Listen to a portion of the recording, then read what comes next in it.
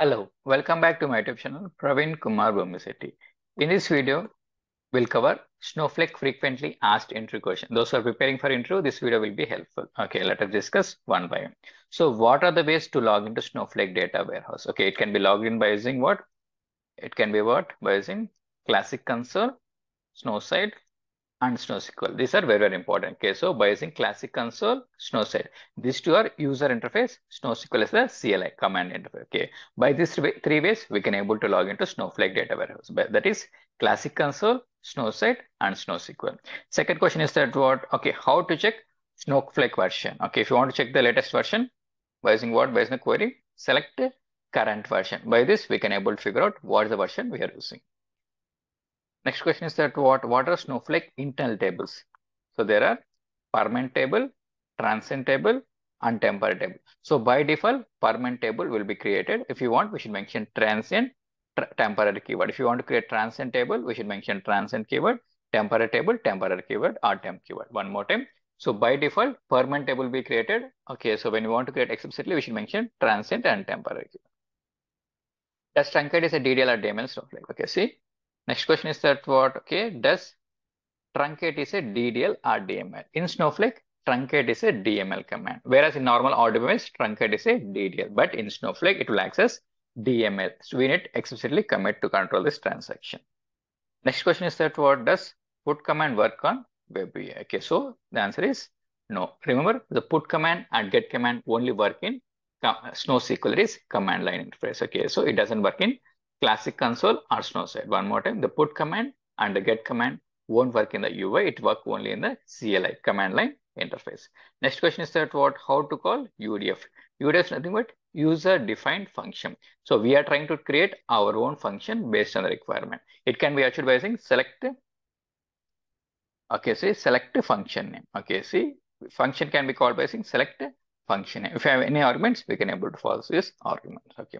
So next question is that what, how to call processor. So processor can be called by saying call procedure name. Okay, so this is one of the important question. Okay, so how can you call the procedure? How to execute the procedure?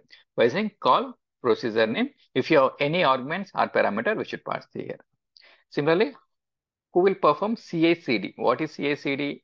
Okay, CI/CD is nothing but it's a continuous integration and continuous deployments. Okay, so in real-time projects, it will done by DevOps or operations team one more time. So CI CD is nothing but what? Okay, continuous integration and continuous deployment, the code movement. Okay, so this done by this will be done by DevOps or operations teams.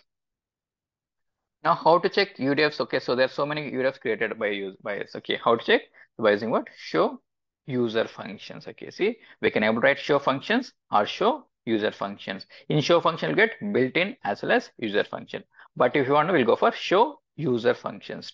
Use UDF network, user defined function. We are trying to create our own function. How can I show user functions? It will give list of functions created by us. Same the next question is that what does cloned object will have storage? The answer is no, because cloning is now called as zero copy cloning. Without any additional storage, we are trying to take a backup. The answer is no, it won't have any any storage. Okay, only one physical storage will be there. Okay, so the answer is no. Does cloned object doesn't have any storage. Next question is that what default retention time of Snowflake tables. What we discussed now, like just now we discussed. So we're having permanent table, transient tables, and temporary table. So for all these three tables, so default retention is one day. It is one day. So answer is one day. So for all these things, if you want to, we can able to change. Next question is that what can materialize views can be created on multiple tables? Okay, so this is important question. If you attend entry into this question will compulsory answer. The answer is no. So because materialized views can be created on only single table. One more time. So this is very important. So materialized views created can be on a single table only. Not multiple tables, it is not allowed. Only single table, it is possible. Okay. Next question is that what can you create Snowpipe on internal stages? Okay. So most of the people work only on external stages, but interviews will ask like, okay, so can we create Snowpipe on internal stages? Yes, the answer is yes. Okay, so for internal stages also we can able to create the Snowpipe. Next question is that what ways to check that time travel? Okay, how can you check the time travel? Okay, it can be checked by using what? By using it can by using query ID, offset, and timestamp. Okay, so mostly use query ID. But question is that what, how many ways we can able to check the time travel? Before that, time travel is nothing but what? Accessing historical data. How can I access the historical data? By using query ID or by using offset or by using timestamp. These are the three ways.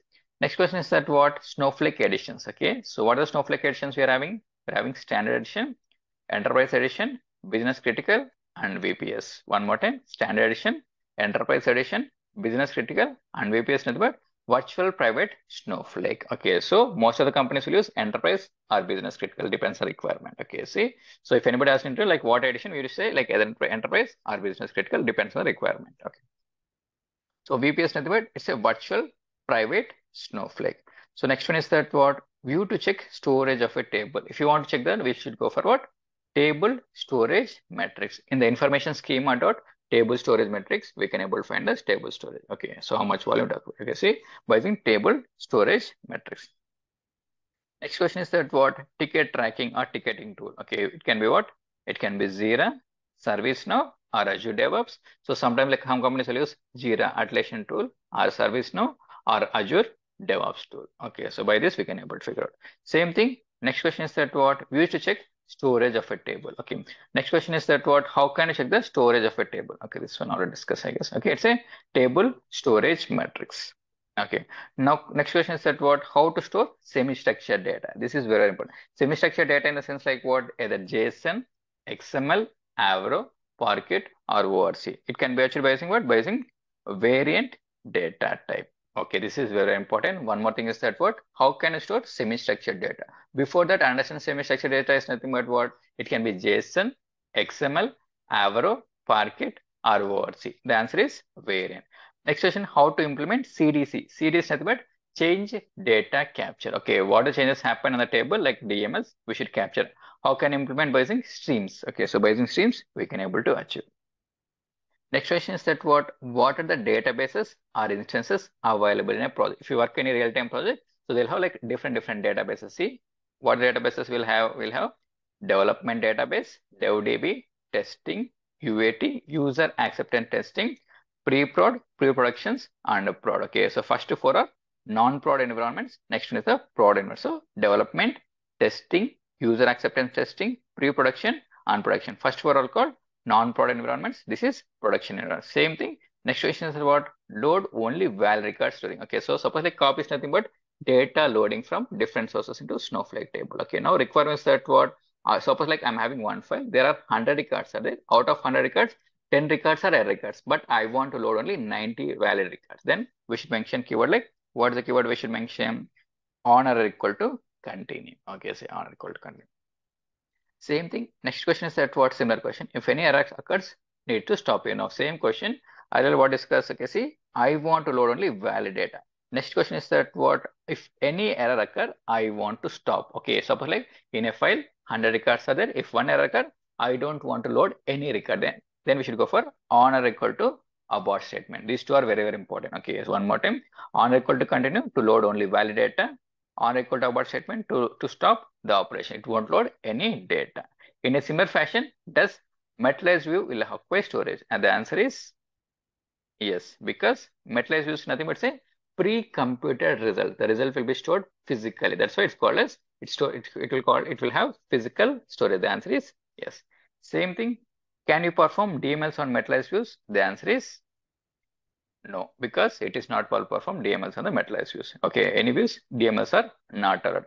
In a similar fashion, which constraint Snowflake enforces? Remember, so Snowflake supports unique constraint, not null, primary key, foreign key, and a default constraint. But what happened? It enforces only not null constraint. This is very, very important. Okay. Snowflake support all type of like creation. What we can go for not null, unique, primary key, foreign key, default. But it allows only, it enforces only not null constraint.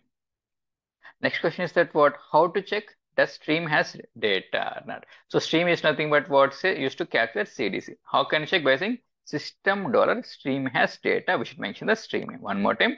How to check the stream has data by saying system dollar stream has data. That is stream name. Okay, by this it will return boolean either true or false. Okay.